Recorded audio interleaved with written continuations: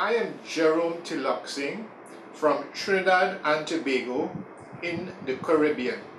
The following is a documentary on International Men's Day. Various persons have been interviewed from different age groups and occupations from Trinidad and Tobago and they will be expressing their viewpoints on masculinity and gender relations. This year, more than 72 countries will be observing International Men's Day.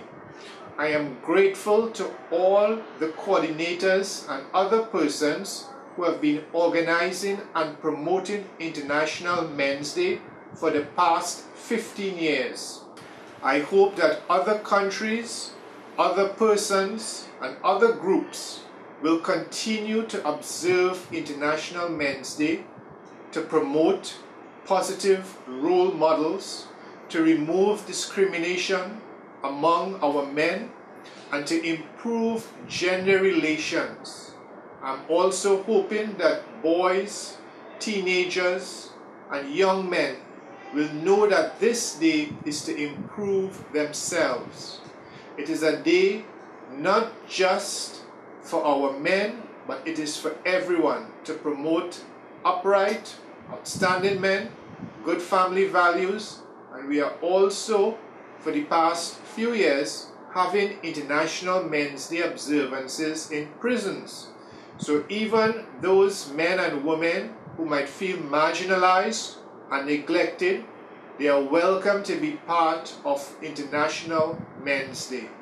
I thank you. What are some solutions to problems facing teenagers such as bullying and peer pressure? Well, I mean, from my observation in the last 18 years of teaching, um, bullying stems from a lot of anger. Um, a lot of the times we have a lot of boys who pent up anger, they have a lot of frustrations and they have no release. And sometimes they look at the vulnerable boys and they attack them. Um, they see difference as something that is strange to them or, something to, to, to attack because they don't understand it themselves. So that we have a lot of um, non-communication. So I think a lot of communication stems from the parents. I think when you talk to boys who have been who've been doing the bullying, they have no communication with their parents. They have a lot of issues, and they come to school and they take it out on other boys. So I think one of those major solutions that parents need to start talking to their children more. Um, we start. We have to treat each other as human beings because a lot of the time we, we don't have respect for the other individuals in the classes, and the boys don't see respect or personal space as important. So you have a lot of those things that would, if parents would intervene, teachers too. If teachers would intervene and say, listen, these boys are good boys and not bad boys, and that you know you treat them like students and not like monsters as they always say. So you have to have that going on. So the boys feel that they are heard, especially those that are bullying, because they feel that I'm bad, I have to represent the badness, and I have to beat up others. So you have those issues. Um, but most of the times, like I'm, I'm a dean as well, so that when you deal with these boys, all you need is somebody to listen to them. And when they, they realize that you are paying attention to them, you start to see a difference. Uh, another thing is um, you see when you put them in a position of leadership roles, you start to see a change. And they stop bullying and actually they start to be a mentor in a lot of respects. So I, I would say those are main areas. In my opinion, the, the, first thing is that teenagers need to have an awareness of what International Men's Day is, um, what are the various goals of the committee, and the reasons for the birth of International Men's Day. So, for example, um, one of the key goals you'll have is tackling toler tolerance of violence against men and boys. So that um, first, I think that the, the awareness of the, of the event of the day has to grow within Trinidad and Tobago, as well as the region.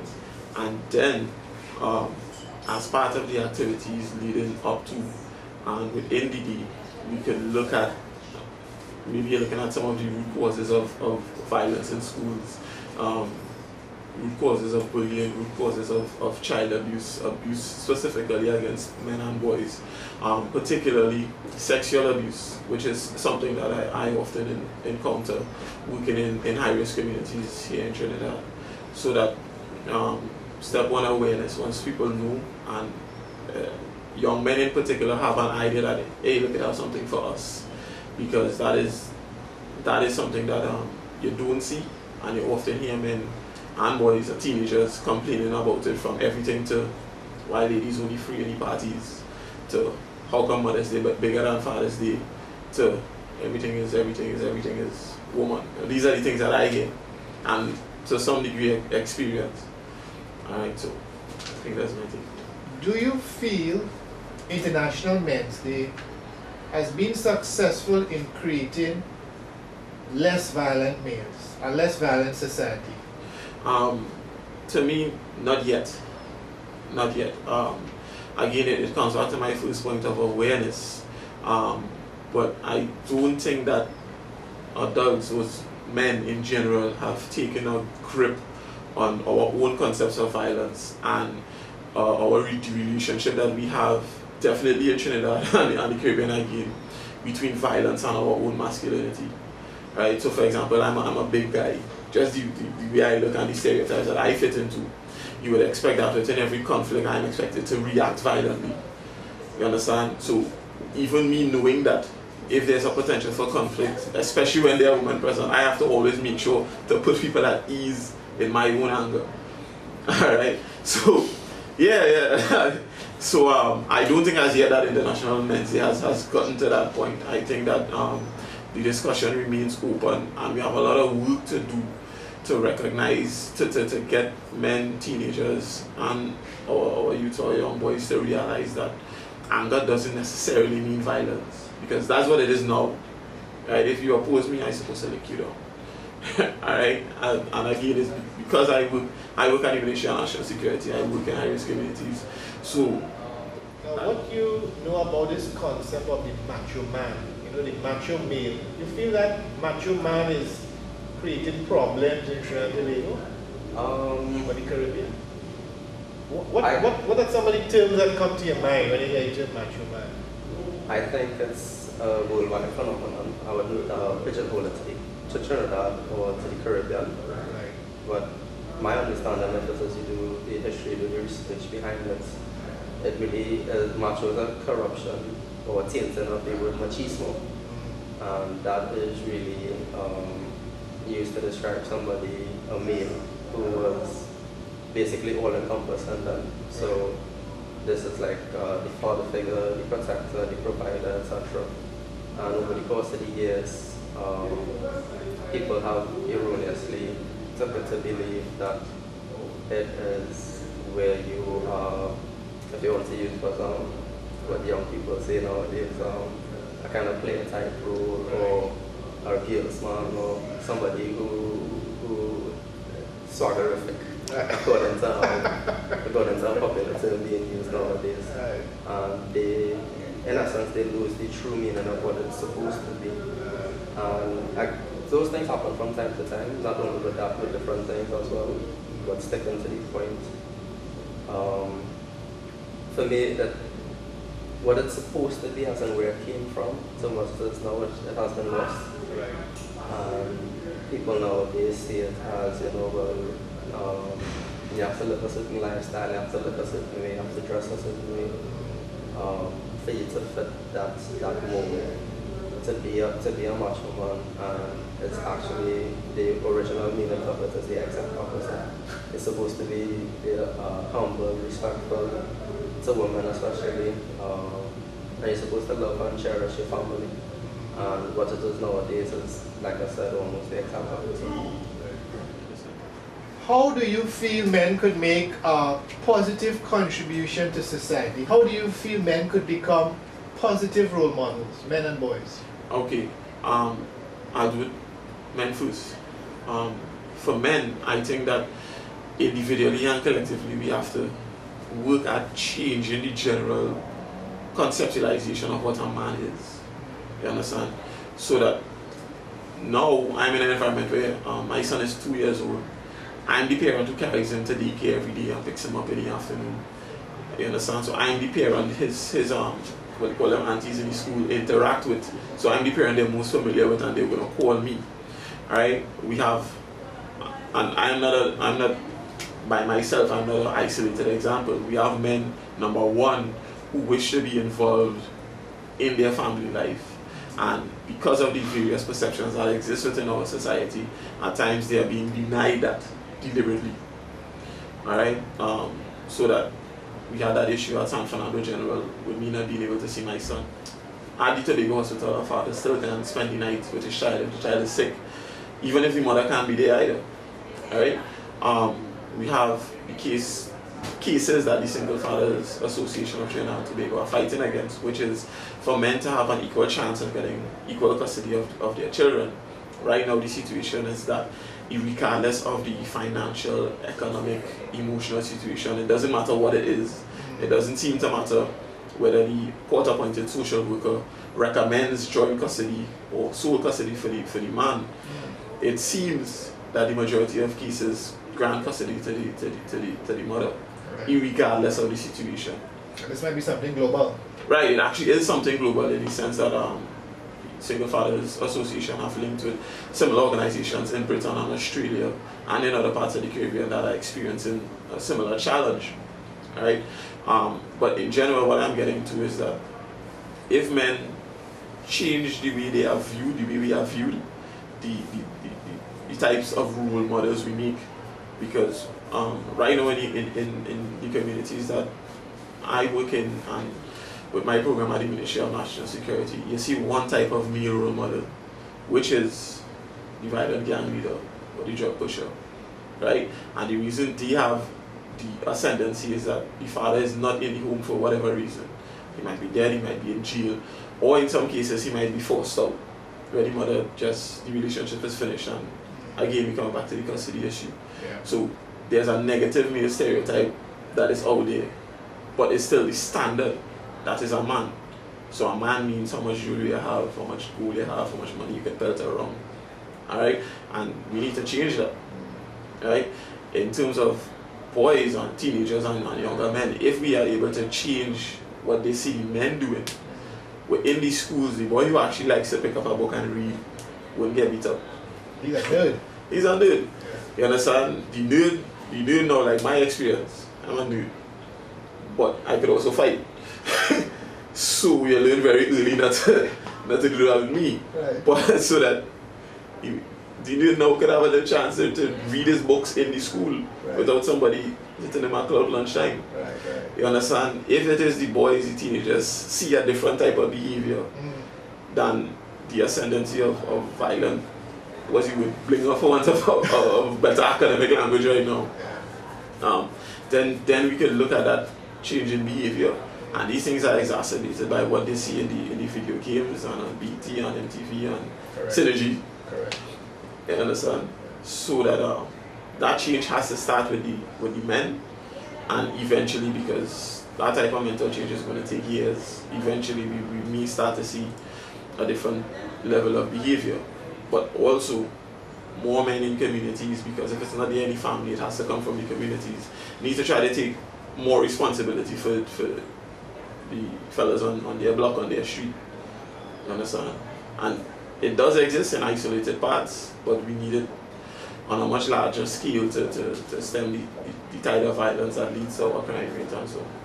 So Marcus, tell me about your work in the Rape Crisis Society. Well, for the last two years I've been the director, one of the directors out of nine, um, the youngest, and one of the male, when you have two males sitting on the board.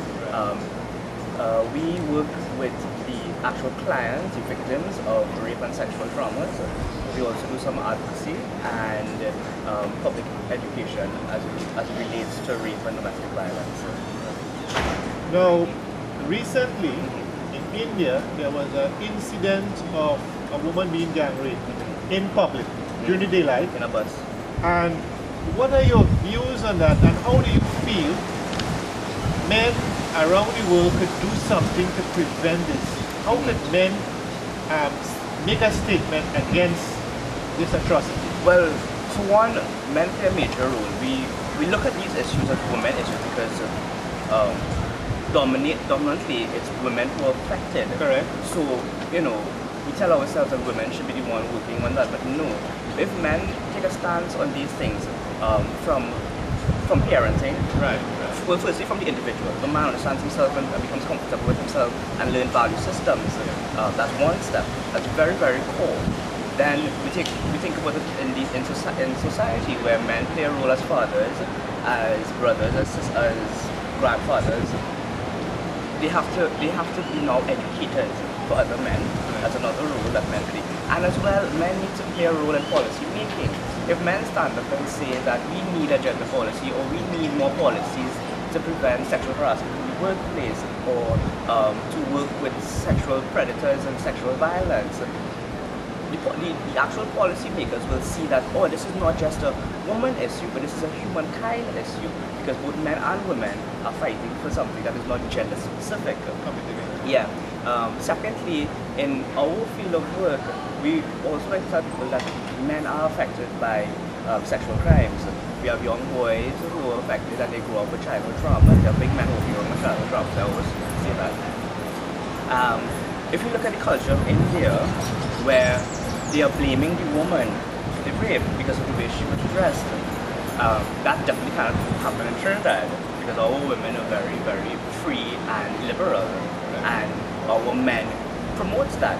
Alright, it's just a little more respect needs to be um, needs to be considered when working with women.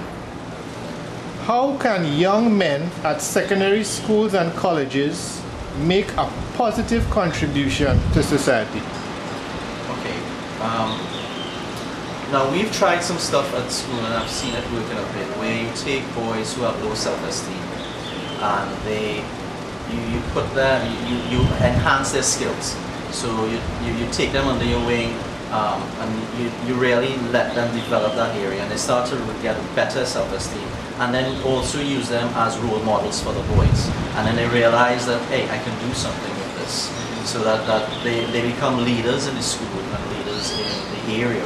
And actually they, they, when they leave um, school they become a lot more they come back and give talks to the boys in school about their success stories and that does help with the other generations coming up that hey I could be like this boy or I could be like this student so that that helps in a lot of ways I, I think it does work and, uh, and we've had even when they become adults and their families and, and they come back and talk to the boys about their school life, about their, their success at, you know, where, where they were at. I was a, a bully, I was a bad boy, I did badly in exams and I come back, hey, I can do it if you can do it. If you have people who help you, motivate you, that, that works.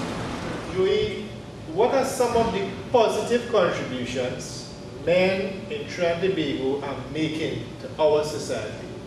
Um, one such individual that I know of is the producer of the show Mastana Bahar.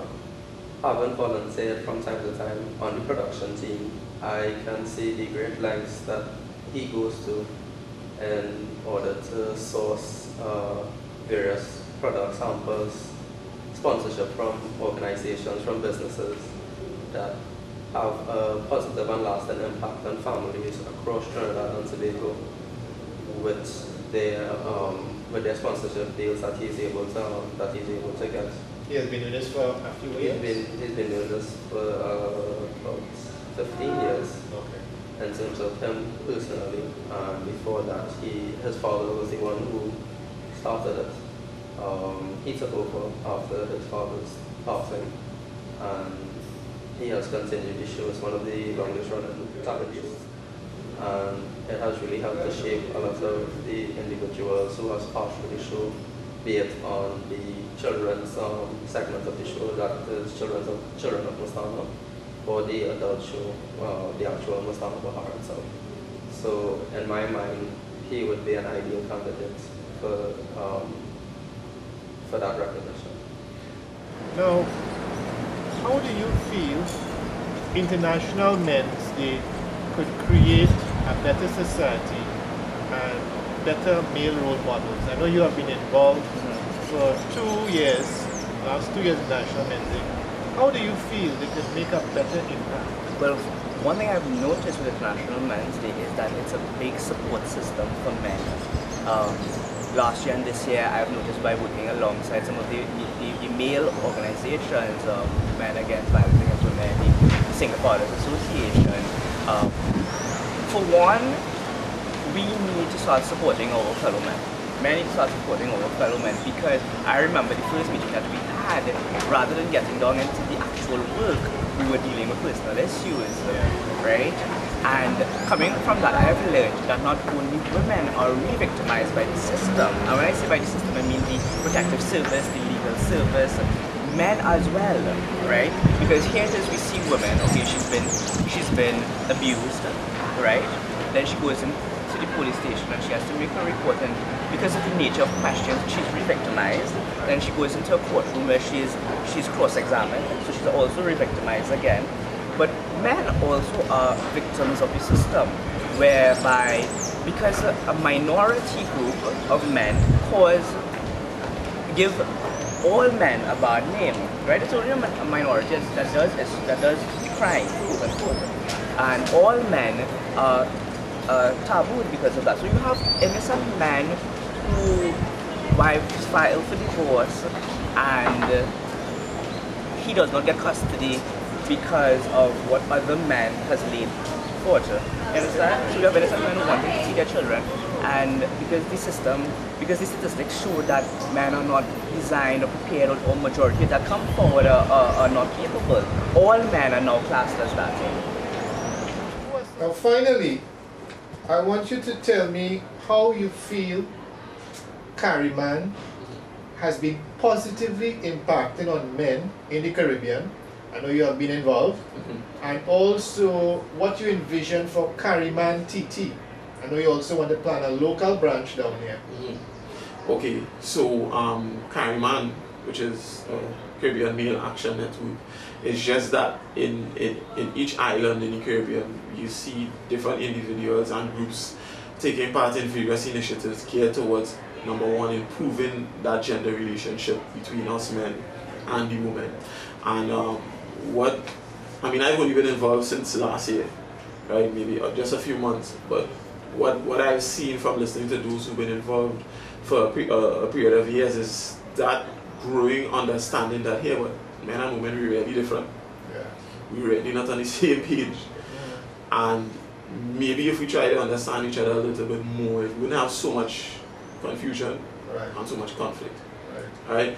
So that you see um, for the different CariMAN agencies, the Bahamas Crisis Center in Bahamas, for example, starting to hold that discussion with, with young men separately, young women separately, bring them together. Um, in Dominica, we have um, uh, anthropological project going on right now geared towards understanding why the man is not allowed to, to, to, to be in home. Right? Um, and we have various other initiatives taking place throughout the Caribbean. Um, one of the best things I saw, and it is on the CariMAN website right now, is the series of videos called Building a Pen. And that seeks to uh, highlight the, the current status of the gender relationship between men and women along issues of um, what the Bible says, pornography, um, violence in the home and abuse and so on. And it shows you how negative things are, but it also shows you where there's hope to change some of these behaviors. Right? right? So um, over a period of time you see that CariMAN has, has, has had some success in taking isolated individual cases and bringing it together for that type of learning right? So that if we learn from each other, then we can try it. Work in Dominica, maybe it could work in Trinidad or Tobago. It might work back in Jamaica, depending on our, our on our space, right? Um, in terms of local CariMAN, um, well, CariMAN itself is actually registered as an NGO in Trinidad and Tobago. But what we have in Trinidad and Tobago, we're trying to get Reman off the ground. And um, one of the main things that Reman wants to focus on is to assist the Single Fathers Association with that custody battle issue in Trinidad and Tobago. And secondly, we're also looking at having some kind of impact on the gender policy, which for some reason still remains a secret. Um, but to my mind, in, in terms of the issues that affect men, while it, while it, it purports to promote equality between men and women, there can be no equality if something like um, maternity leave is still three months, which is too little bit, but paternity leave is three days, which is just doesn't make any sense. Yeah, that's a big thing in all the countries. Eh? You understand? Right. And And um, arguments against it, for example, state that, well, what are the men going to do? Stay on scratch, stay on play PS3. These are the things I've had to respond to on, on social media forum and in person. Um, but then if you use things, yeah, yeah, that really happened. But then if you use things like my example, my wife almost died giving birth. Right? She needed me for more than three days. You understand?